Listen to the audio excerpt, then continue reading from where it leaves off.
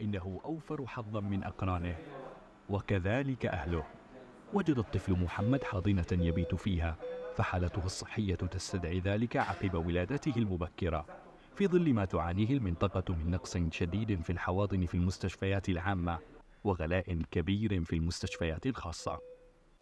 حاليا عم نعاني نحن من نقص بالحواضن بالمشافي العامه آه، عم بيجوا الأهالي عندهم ولادات مبكرة بحاجة لعنايه حواضن بادلب ما في غير مشفى سامز آه، في عنايه وحواضن ممتلئة. الأهالي عم بيضطروا ياخذوا الأطفال على مشافي خاصة وعبء مادي كثير كبير لهم لأنه ما في بالمشافي العامه حواضن. يعاني الأهالي في محافظة إدلب من رحلة بحث طويلة عن حواضن لحدث الولادة التي يحتاجونها.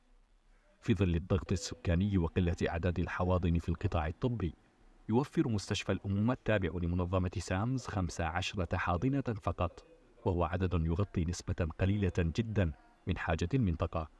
فيما تزيد التكلفة عن 100 دولار أمريكي لليلة الواحدة في المستشفيات الخاصة وهو رقم كبير جدا. مقارنة بنسبة الدخل لمعظم السكان. 15 حاضنة حاليا غير كافي لهالكميات الأعداد.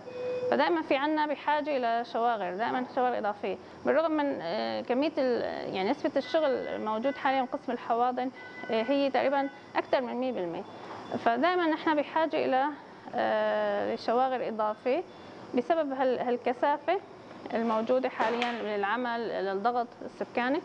بالإضافة أنه القبولات اللي عم تكون موجودة بالمشفى عندنا هي لحالات الحمول عالية الخطورة اللي هي بحاجة آه، إلى متابعة كثير ممكن تستغرق آه، فترات طويلة.